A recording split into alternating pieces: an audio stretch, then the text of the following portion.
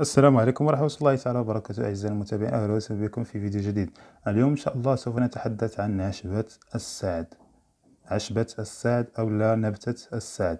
أه وسوف نتعرف على أسمائها باللهجة المغربية وبالفرنسية وبالإنجليزية وفوائدها وطريقة استعمالها وطريقة تحضير هذه الوصفة العجيبة بهذه النبتة. إذا نبدأ على بركة الله. بالنسبة آه، لهذه النبتة. نبتة الساع تسمى عندنا بالدارجة المغربية كتسمى بالدارجة المغربية تارة. تارة. هذه كتسمى تارة. كما كتشوفوا معايا هذه هي النبتة ديال تارة أولا السعد أولا أم السعد وبالفرنسية كتسمى عندها جوج ديال الأسماء لها إسمان آه، سوشي لونغ souchet long وتسمى كذلك souchet odorant souchet odorant souchet odorant وبالإنجليزية فهي تسمى cyperus cyperus cyperus ولها اسم آخر بالإنجليزية تسمى galingale galingale galingale ولها عدة أسماء في بعض الدول العربية تسمى في بعض الدول العربية تسمى السعد نبتة السعد تسمى السعد أو لا سعدة سعدة وتسمى كذلك سعادة سعادة. وتسمى كذلك الخل الخلنجان البري. الخلنجان البري. وتسمى كذلك ريحان القصاري. ريحان القصاري. وبالأمازيغية تسمى تيغيلالت تيغيلالت تيغيلالت. بالأمازيغية تيغيلالت. وتعتبر عشبة ترى هي عبارة عن بذور. كما تشاهدون بذور آه، يابسة جافة آه، بنية اللون وصغيرة القد. صغيرة القد كما تشاهدون معي. هي صغيرة جدا. آه، يطلق عليها في في بلدان المشرق. أم السعد.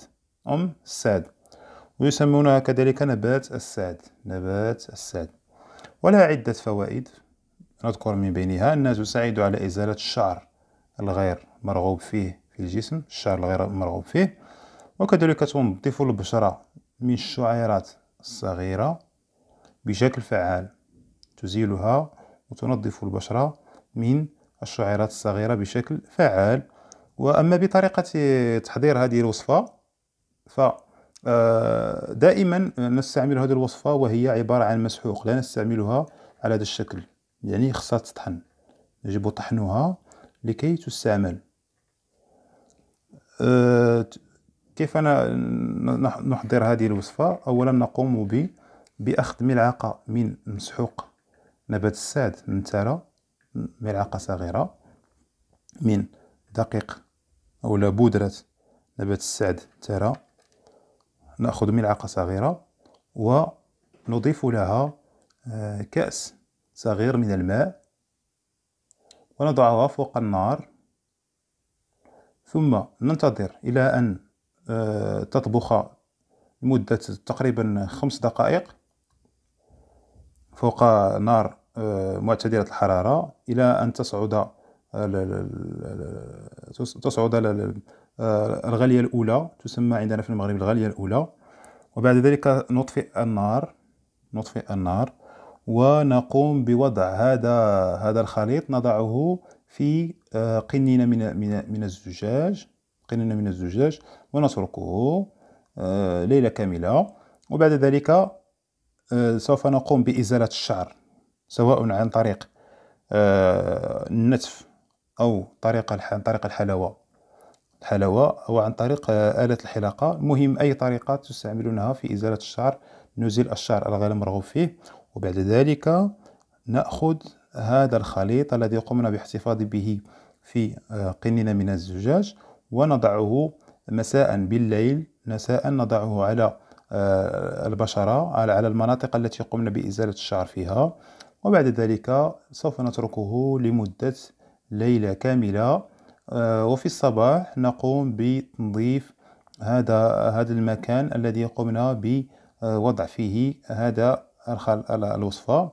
وبعد ذلك سوف نقوم ثاني مرة أخرى بإزالة الشعر ونضع آه، هذا هذا الخليط الذي قمنا بالاحتفاظ به. سوف نستعمل دائما الخليط الذي قمنا بالاحتفاظ به. وبعد ذلك سوف نتركه ليلة كاملة. وفي الصباح نقوم بغسلها ونكرر الوصفة آه، من أربع إلى خمسة مرات. وبعد آه، بعد أربعة أيام سوف تلاحظون على أن الشعر بدأ يختفي بشكل نهائي و و وسوف يتوقف عن النمو والظهور.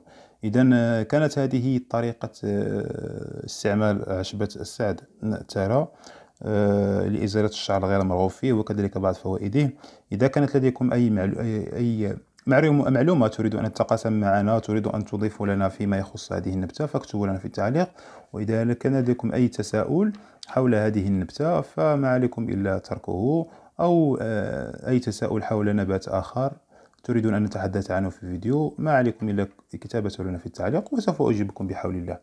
أشكركم على المتابعة ونلتقي في فيديو آخر وفي نبتة أخرى إن شاء الله. مع السلامة إلى اللقاء.